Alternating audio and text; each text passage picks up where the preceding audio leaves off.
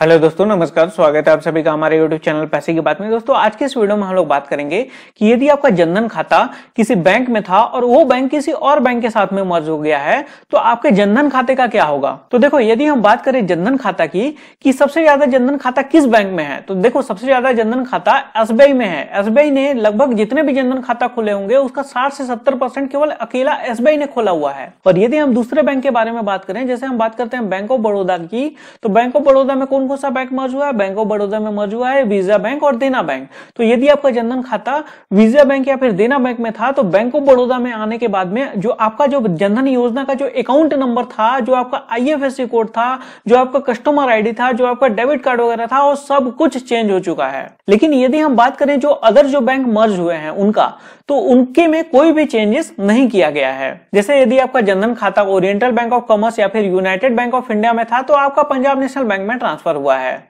और यदि आपका खाता सिंडिकेट बैंक में था तो आपका खाता कैनरा बैंक में ट्रांसफ़र हुआ है। और यदि आपका खाता आंध्रा बैंक और कॉर्पोरेशन बैंक में था तो आपका खाता यूनियन बैंक ऑफ़ इंडिया में ट्रांसफ़र हुआ है। और यदि आपका खाता अलाहाबाद बैंक में था तो आपका खाता इंडियन बैंक में ट्रांसफ़र हुआ है। तो खाता ट्रांसफ़र होने के बाद में यदि हम बात करें आपके अकाउंट नंबर के बारे में तो आपका अकाउंट नंबर को चेंज नहीं किया गया है। जो आपका पहले जो आपका जनधन योजना का जो अकाउंट नंबर था, वही आपका अकाउंट नंबर रहेगा। लेकिन जो आपका ओल्ड आईएफएससी कोड था, वो आपका चेंज हो चुका है। आईएफएससी कोड अब आपको नया यूज़ करना पड़ेगा, जो आपका लेकिन ओल्ड आईएफएससी कोड था, वो अभी इकतीस मार्च 2021 तक काम करता रहेगा। उसी प्रकार से यदि हम बात करें कि आपका जो कस्टमर आईडी था या फिर आपका जो सीआईएफ नंबर वहाँ पे मिला था, वो चेंज हुआ है कि नहीं? तो वो यहाँ पे चेंज नहीं किया गया, वो भी जैसा का तैसा है। और यदि हम बात करें आपके डेबिट कार्ड के बारे में, जो अभी आपको जनधन खाते में जो आपको रुपए डेबिट कार्ड मिला था, उसके बारे में यदि हम बात करें तो उसमें भी कोई भी परिवर्तन नहीं किया गया है। लेकिन जब आपका जो डेबिट कार्ड है, वो जब एक्सपायर होगा तो जो भी आपका जो नया जो बैंक आपका बना है, जैसे मान के चलो कि आपका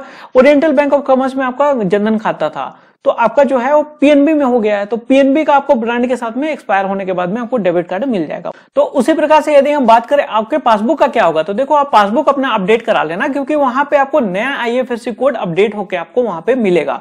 और दूसरा चीज़ ये है कि जैसे आपका नया बैंक में जो आपका ट्रांसफ़र होगा, उसका पासबुक का साइज़ वगैरह काफ़ी डिफरेंट होता है। तो जैसे आप प्रिंट वगैरह कराने जाओगे तो उसमें आपको सहूलियत होगी। और दूसरा, जैसे कि आप यदि मशीन वगैरह में अपने पासबुक प्रिंट करते हो तो वहाँ पे क्या होगा कि वहाँ पे हर बैंक हर बैंक का एक अलग वहाँ पे बारकोड होता है तो पासबुक में जो बारकोड लगा होता है, उसको रीड करके मशीन से आपके पासबुक को प्रिंट करता है।